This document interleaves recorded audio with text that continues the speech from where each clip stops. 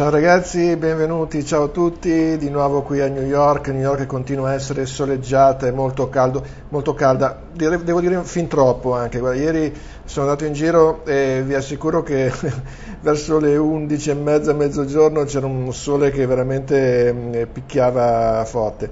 Eh, ciao ragazzi, intanto tutti quelli che sono anche in chat, vi vedo, Ajay, Ettore, Luca, Moro, eh, Fetentella, insomma eh, tutti quanti. Mm, beh, vedo che insomma siete degli, degli seguaci proprio affe- affezionati. Va bene, eh, allora, eh, come vi avevo già preannunciato un po' sul forum, oggi sarà una puntata molto corta, eh, perché sono andato in una zona eh, che secondo me eh, in questo momento non sta offrendo molto, ma, ma c'è un motivo. La zona è Tribeca, eh, scritto Tribeca, e Tribeca sta per um, Triangle 3 Below B Canal Street K, quindi il triangolo sotto Canal Street. Eh, purtroppo questa è una zona che dopo l'11 settembre è stata quella che è più colpita, nel senso che molte persone che erano qui se ne sono andate, eh, è andata un po' in, eh, dire, in, in discesa questa zona. Eh, stanno cercando di ridarle vita anche con il Tribeca Film Festival, eh, vabbè De Niro ha aperto un ristorante, insomma comunque io l'ho vista ancora un pochino, diciamo che in tutta New York, di tutta Manhattan almeno, ecco, Tribeca secondo me è la zona così meno forse molto appetibile da un punto di vista strettamente turistico. Eh, comunque ci sono alcune cose che, che vanno segnalate e che, eh, che, vi farò vedere. Allora, eh, partiamo subito con il, il filmato di ieri, parto da un negozio particolare che, vabbè, questo non c'entra molto con, con, la, con Tribeca, ma mi ha attirato, ed è questo. Qui vedete, è un negozio che fa eh, riversamenti da, da qualsiasi tipo di supporto a DVD, la cosa che mi ha impressionato è che ha macchine che sono veramente antidiluviane. Guardate, queste qui sono macchine da, da un pollice che non si usano più nemmeno nelle, nelle, tv più scalcinate, però insomma le hanno tutte in modo che loro possano fare questi riversamenti da qualsiasi tipo di supporto e, ehm, e così insomma. Poi dentro c'hanno, vedete, c'hanno un sacco di, di eh, videoregistratori, credo che facciano anche riparazioni, vedete, questa pila di, di beta, vabbè insomma era una cosa un po' curiosa, mi aveva incuriosito quindi l'ho, l'ho fatta vedere. Eh, qui siamo zona Church Street e ehm, adesso qui eh, comincerò a farvi vedere un po'. Eh, qui ho visto un negozio di scarpe, prezzi assolutamente bassi, guardate, sono rimasto colpito anche da questo, l'ho fatto vedere perché con 39 dollari un paio di scarpe secondo me non si trovano più neanche in un mercato eh, italiano insomma. 39 dollari, pensate saranno, so, 28 euro, al cambio attuale 29 euro, non so, 30 euro, penso che insomma, vedete, ecco anche le, le Clarks, eh, i prezzi erano assolutamente 49 dollari un paio di Clarks, insomma, mi sembravano molto... Eh, molto buono insomma.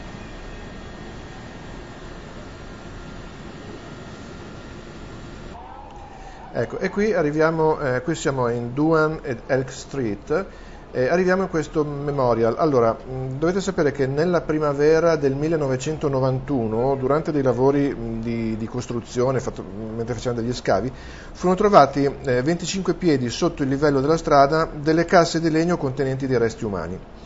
Allora, eh, poi ricerca, hanno fatto una ricerca e eh, questa ricerca storica ha rivelato che, che questa era un'antica area di, di sepoltura per gli schiavi afroamericani. E questo nel, nei primi anni del 1700 e quindi nel 1993 questo piccolo pezzo di terra è stato dichiarato un sito storico ed è sotto la, diciamo, la protezione del, dei parchi nazionali americani. Infatti c'è un ranger che mi ha anche dato la brochure eh, per, per, questo posto. Hanno fatto questo memorial mm, in ricordo ricordo appunto di tutti gli, gli, afroamericani che hanno dato moltissimo all'America ma che come sappiamo eh, purtroppo sono sempre stati trattati in maniera indecente.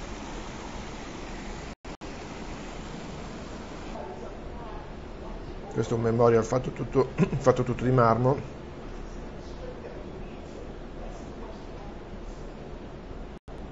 Ecco, qui c'è appunto il ranger che, che spiega a chi vuole tutta la storia di questo posto ecco, per tutti quelli che sono, stati, che sono persi, per tutti quelli che, stati, che, hanno rubato, per tutti quelli che sono stati lasciati indietro, per tutti quelli che non sono mai stati dimenticati. Ecco, quella scritta recitava questo.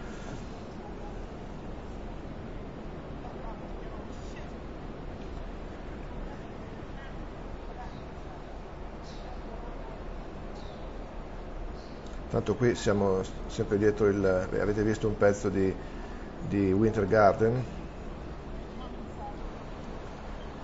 Ecco, intanto eh, qui mm, ci sono anche qui dei bei palazzi comunque che ho, vi ho ripreso in modo da, mostrarvi. Diciamo che questo è un po' diciamo, una parte sotto So, qui appena si, si, va un po' su si arriva a So e, e quindi con, con, tutto quello che, che riguarda appunto So.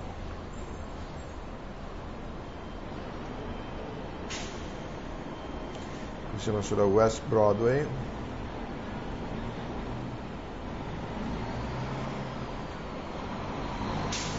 Ecco, e eh, lì in fondo adesso, ecco, qui siamo Hudson, e, e Duan, Hudson Street e Duan, e qui c'è questo, questo parco che è tra i più antichi eh, di New York. E questa era una parte originale di una fattoria olandese del 1600, pensate, che fu poi acquistata dal duca di York e che poi mh, vabbè, la consegnò la, la, Trinity Church. La Trinity Church era proprietà di un sacco di proprietà in Lower Manhattan e, la chiesa, appunto, la Trinity Church, vedete questo, questo parco, la città di New York nel 1797, pensate un po' per la enorme cifra di 5 dollari.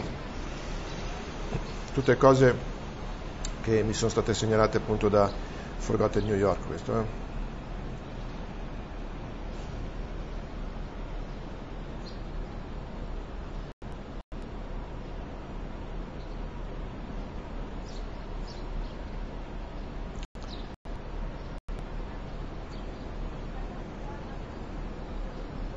Ecco, anche qui ci sono queste case un po' particolari con scale antincendio fuori, queste eh, brickstone houses, alcune, insomma, non tutte.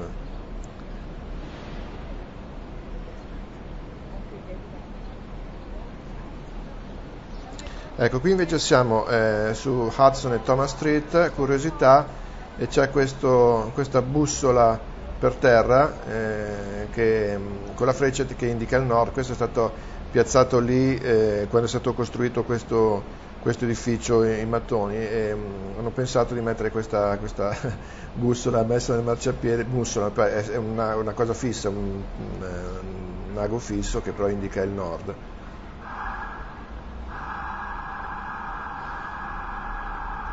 Ecco, e qui invece arriviamo a un altro posto particolare. Eh, questo ehm, si chiama The Strange Medallion di Harrison Street, questo si trova tra Harrison Street e Green Street. E faceva parte di una costruzione del 1930, questo, questo fregio, eh, una costruzione che era affacciata sulla Highway West Side, che è praticamente la, la strada che costeggia, è, la, è, un highway che costeggia eh, l'Hudson River e il palazzo fu poi demolito, ma il, il, fregio appunto fu preservato ed è stato messo lì, eh, così a futura memoria.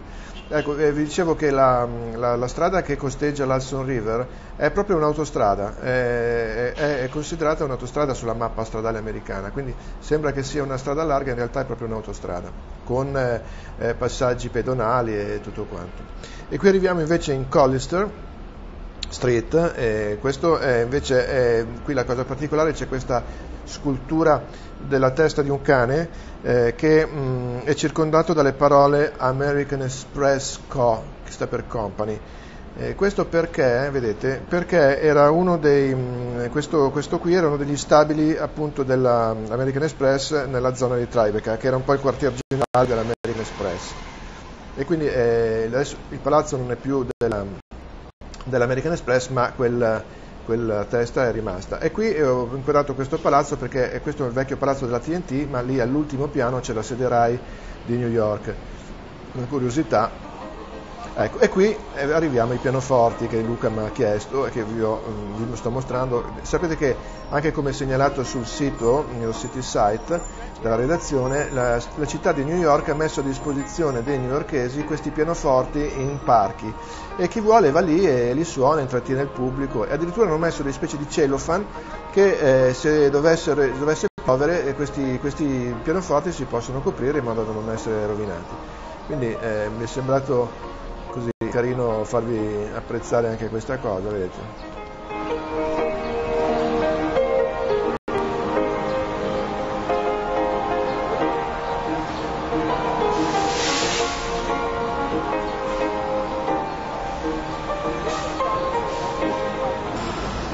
Ecco, queste sono proprio le classiche cose newyorkesi.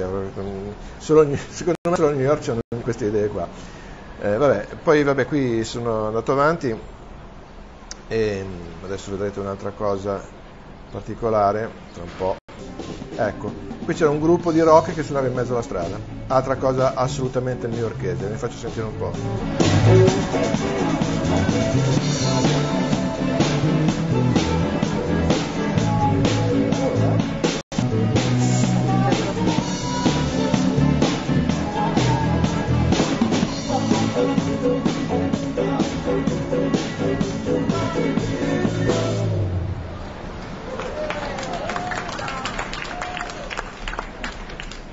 Questo è proprio classico di New York. Ecco,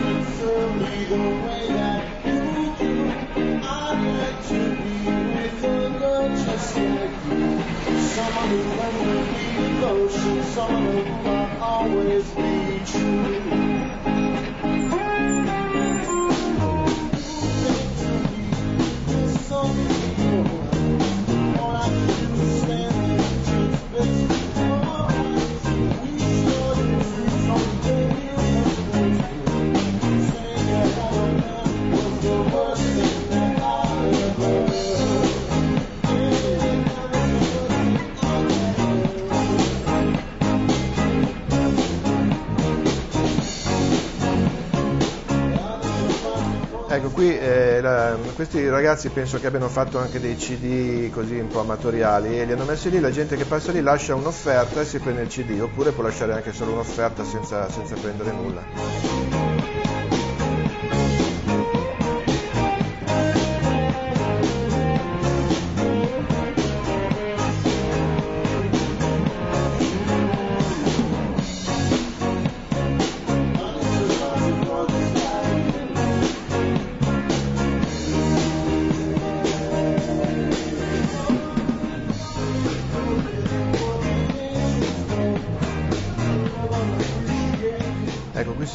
In Spring Street e poi niente, poi, vabbè, poi me ne sono andato via e mm, adesso vi documenterò altre cose. Qui siamo su West Broadway e Spring Street come vedete e qui c'è un, eh, mi sembra un Emporio Armani, esatto. Ci stiamo andando verso zona più So che Tribeca in realtà Ecco, qui siamo su Worcester Spring Street, ecco c'è un mercatino, molto spesso a New York si incontrano in questi mercatini, mercatini molto piccoli anche, sono fatti solo di qualche bancarella che appunto vendono appunto magliette o bigiotteria, cose in questo senso, eh, un po' dappertutto si trovano. Quindi se camminate per strada tranquilli che se volete comprare qualcosa assolutamente qualche idea vi viene, soprattutto in questa zona.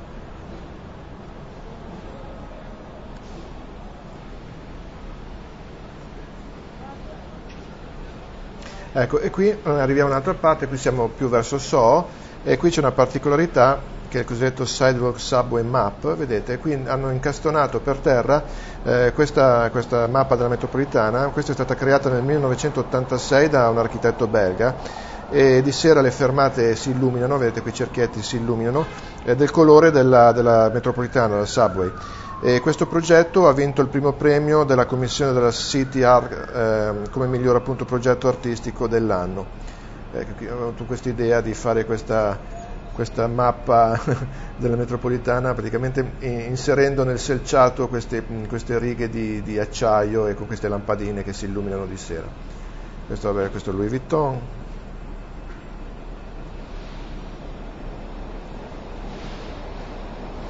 Ecco, questa, questa casa invece è, è, dipinta. Quelle finestre che vedete non sono vere, ma tutta la facciata è tutta dipinta.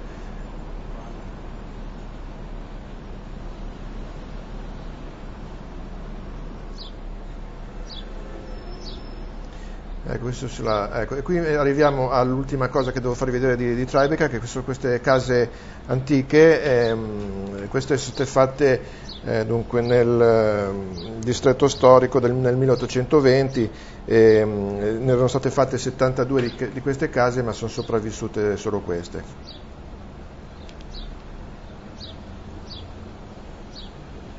Qui siamo tra King Street e la Sesta Avenue.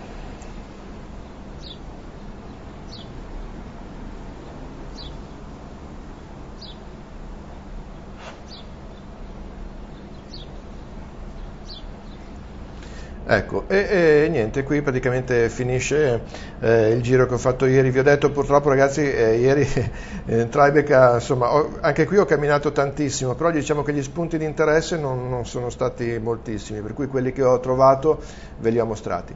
Poi eh, non vi lascio così, ieri sera eh, sono andato fuori a mangiare con, eh, con Mary Libellula e siamo andati di nuovo in quel posto mm, ehm, del quale avevo già parlato, che si trova sotto Barnes Noble e si trova sulla terza, lo dico finalmente eh, perché l'altra volta ho sbagliato, si trova sulla terza Avenue con l'incrocio con la 54esima strada. Mary sostiene che la 53esima, sono andato a controllare stamattina su, su eh, Google Map, eh, 54esima, quindi terza Avenue e 54esima strada, sotto ba- eh, Barnes Noble che è una libreria c'è questo mm, eh, ristorante bar eh, molto carino dove fanno anche musica dal vivo, poi lo vedrete. E, mh, mm, eh, voi andate lì, mh, mm, chiedete il tavolo e intanto che il tavolo si libera c'è il bar, potete andare a bere qualcosa e poi insomma quando il tavolo si libera vengono loro a chiamarvi e trasferiscono il conto del bar sul conto del, del ristorante. Si paga poco, eh, diciamo che è un posto da hamburger, insomma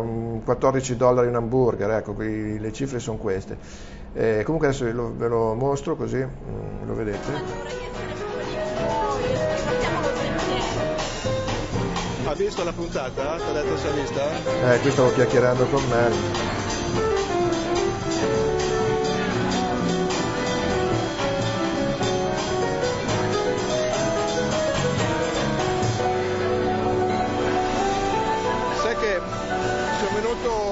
Questo è, questo è, il bar, eh, anche questo prezzi molto accessibili. Eh.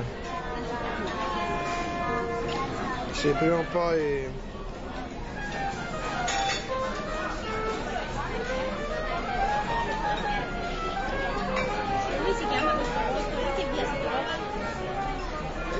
Allora, il nome non lo so.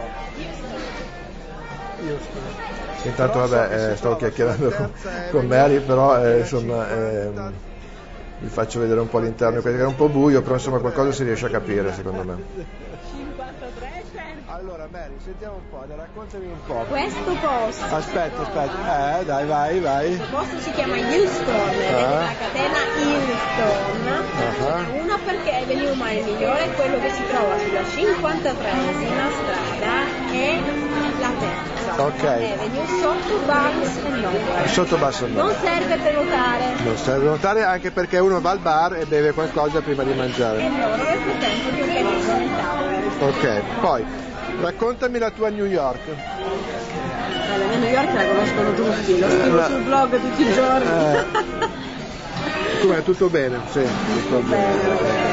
Vabbè, vabbè. Va bene, allora salutiamo tutti quelli del forum. Ciao ciao ciao ciao ciao ciao ciao ciao ciao ciao ciao ciao. Questa qui la mandiamo domani mattina. Ecco, questo è stato l'intervento di Mary, vabbè, questo per tutti gli utenti del forum, amici, eccetera, eccetera. Poi dopo, niente, siamo andati via. Eh, qui ho detto great music e musicisti che stavano andando via anche loro, poi sono tornato verso casa e mi è venuto in mente che non vi ho ancora mostrato quest'anno la um, Times Square notturna e allora così insomma il vostro inviato eh, ha pensato di, eh, di, farvi vedere qualche immagine di, di Times Square eh, notturna e eccola qua, adesso vi faccio vedere.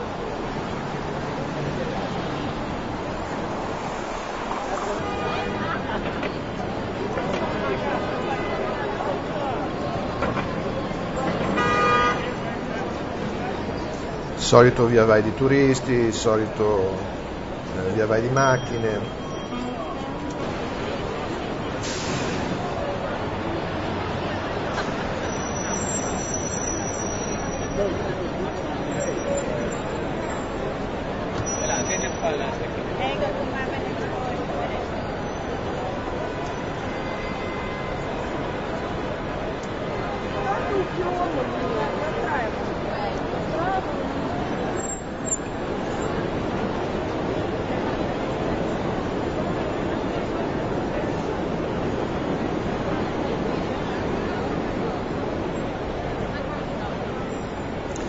Devo dire che fa sempre un certo effetto. Eh. Nel Times Square di sera, secondo me, bah, è proprio affascinante. ormai, vabbè, molti di noi l'hanno vista, stravista, strafotografata, però devo dire che insomma, il suo effetto lo dà sempre.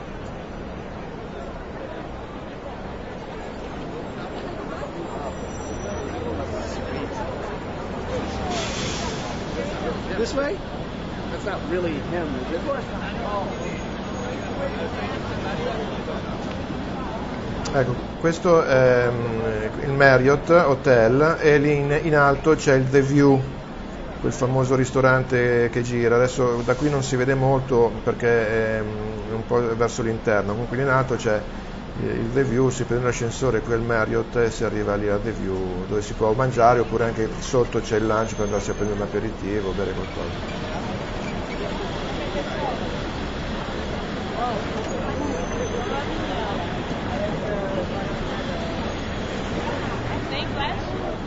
Naturalmente tutta la gente che si fa fotografare esattamente come abbiamo fatto tutti.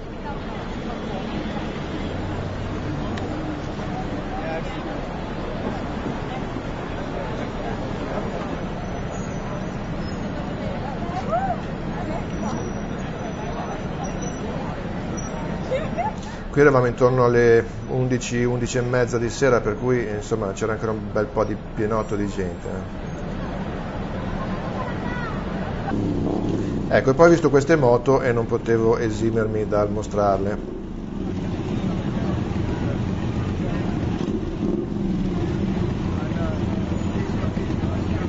Chopper. Guardate il casco di questo,